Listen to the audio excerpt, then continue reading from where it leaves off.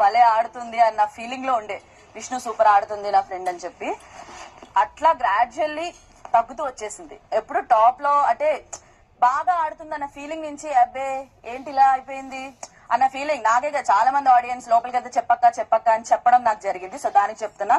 And నువ్వు danger zone వరకు కూడా వెళ్ళావు. లాస్ట్ లీస్ట్ ఇప్పటికైనా విష్ణుప్రియ అర్థం చేసుకొని మంచిగా గేమ్ ఆడితే మాత్రం మేము ఓట్లు వేయడానికి సిద్ధమని విష్ణుప్రియ ఫ్యాన్స్ చాలా మంది ఉన్నారు. ఇప్పటికైనా మారుతారు. మరి చూద్దాం. ఇదే కాదు ఇంకా బోల్డ్ ఉన్నాయి. ఇంకా నెక్స్ట్ వీడియో చూపెడతాను చూడండి. తేజ గారు మనకంటే ఎందుకు నామినేట్ చేశారు? నువ్వు ఇప్పటికైనా మారు ఈ ఏడవకు అని చెప్పడానికి కొన్ని ఉద్దేశాలు ఇవ్వడానికి చేశారు నామినేషన్ కానీ యష్మి ఎంత హ్యాపీ ఫీల్ అవుతుందంటే ఎంత క్రజ్ పెట్టేసుకుంది మణికంఠ మీద. ఇలాంటివి చూస్తే బయటికి రాకూడదు. మనకి యష్మి గారు ఇప్పటికైనా ఆపండి ఇలాంటివి.